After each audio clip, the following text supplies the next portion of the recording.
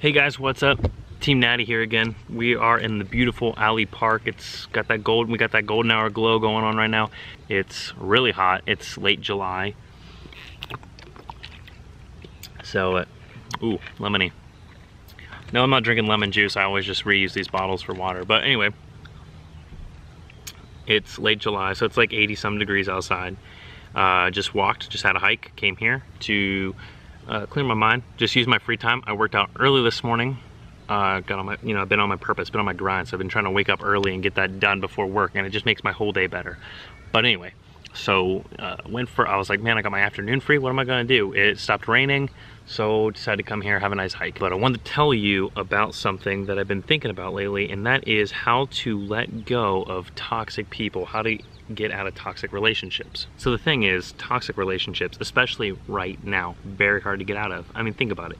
We're in quarantine, we're like can't really do a whole lot of stuff. So if you're stuck with someone at home who's toxic, it's very hard to get out of that. It's very hard to get around that. Uh, it's very hard to let go of some of those things.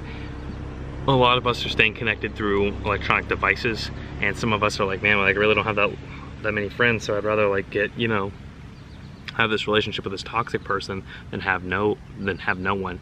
And I've even been there when it wasn't the um, when it wasn't the case, when it wasn't a quarantine, or when I, I mean even when I had uh, other people, I was just so used to the familiarity of a of this of a toxic person in my life that I would have I would have chose that every time.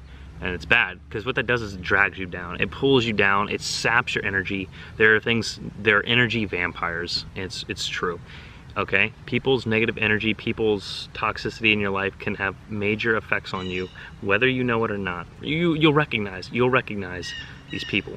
You'll instantly, your mood will suffer when you're around them.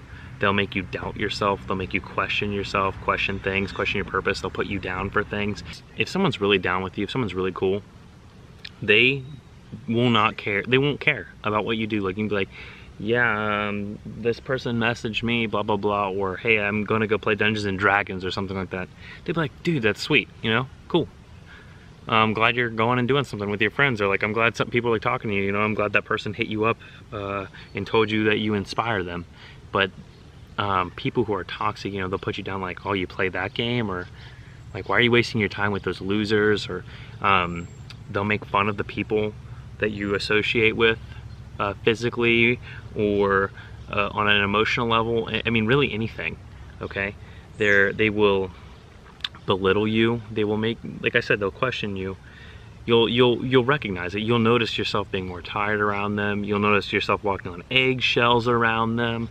Uh, even to the point where you wonder whether they love you or not, despite whether, despite them telling it to you all the time. Sorry, there are a lot more like bugs are just trying to swarm me now. Um, so these people yeah like they'll they'll they'll make fun of you for what you do instead of accepting you for what you do and like trying to learn about it um, but what you need to do first and foremost is you need to just tell them straight up try doing that that's like your first method like hey I don't appreciate that at all okay and let's just get this off the table like right away like everyone has been toxic to someone in a relationship before I've been toxic before You've been toxic before. Everyone's been toxic at some point in their life. And uh, I actually have respect, a lot of respect for the people that I was toxic to that walked away and that took me out of their life and decided to move on because good for them, you know? And hopefully I can do that with the people who are toxic to me because some people will not change, they will not grow, and it's too hard on you and it's not your job to make them grow, okay? They have to do that for themselves. So what you can say is like, hey, uh, you know, I really, I really value you. I think you're a great person, but like this, this mood you got going on, it's sapping my energy. I really don't appreciate it. Just, I, I, I really like it if you didn't do that anymore. And, you know, just go about it nicely. You know, be a cool person. You know, don't be an asshole. Don't be like, hey, you know what? F you, you're pissing me off. Like, get out of my face. When you push, like, everything has an equal and opposite reaction. So when you push, you get a pushback. Okay? we did the same thing in wrestling. You know, you want someone to shoot on you, you just give them a little push and they push right back and they just sprawl.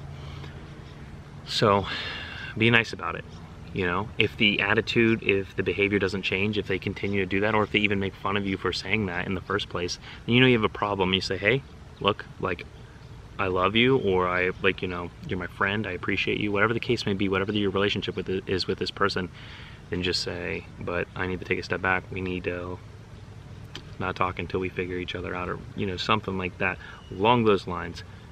That is going to be the hardest part it's when you have to break contact when you just have to stop talking to them. Take them out of your cell phone if you have to. Delete that even if you really enjoy say you talk to them on snapchat or instagram or something and you say you really enjoy that app. If you don't want to block them like block them or something or mute them uh, don't don't look at their stuff but if it's really like bothering you then just delete the app. I've done it before several times. Delete the app get rid of it block their cell phone number for a few weeks just something okay just say hey I gotta go. Don't try to meet up with them or anything. Just completely cut them off. Just, just stop it right there. Move back. Say, you know, like, if you really need me, you know how to reach me. You know, so maybe don't block them. Turn off notifications. Something. I don't know. Whatever you need to do to make sure that you're not talking to that person who's negatively affecting you.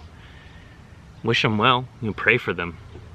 That's the best thing you can do. Really, is pray for them every night, every day, whatever, whenever you pray. How many ever times a day you pray? Pray for them um, you know, hope that they that they learn and grow and get that connectivity with God and that they develop and they realize what they were doing. But you know, always make sure that you know that there's the possibility that you might have to keep that like that severed connection forever. You might never you know be back with that person and that might be the best solution for both of you. It might be better for them to learn in order for them to learn and it might be best for you in order to not in like and give them that situation to become toxic or to put you through a situation where you're with a toxic person that can bring you down that can affect your mood your morality just anything like that. So no contact you know if they do come around if like say it's been a while things change they start acting different you know maybe let them in slowly and then see how they are still acting. There are times, I mean, you can they can fool you. I fool people before you you change and you change for a while, and but as soon as you get comfortable again, might take a year, might take two, might take five. You start acting the same way, and you just, whoa, well, what happened? You completely regressed. The thing is, people think that you change, and once you change once, it's for good. But this this life is daily. You know, you have to constantly renew your mind. You have to constantly actively and be like and, and do it in a, in a fashion of awareness. You know you have to be aware. You have to be actively renewing your mind changing making adjustments tweaking things working on yourself you don't just work out and get big and then like just okay well, i guess i got like i guess i got guns now i never have to work out again someone once said that like to me i went i was like i gotta hit the gym real quick and they're like why you already have muscles it's like uh, yeah, because I keep going to the gym. You have to constantly go. You know, you have to maintain yourself. Um, plus, I want to get bigger. So that is my video today. I hope this helps. It's a small video. It's weird. I don't know. I just thought it would help. So toxic people, especially in like today's day and age. Now, remember, like I said, we've all been toxic. So have, you know, show grace. You know, show grace. Be forgiving.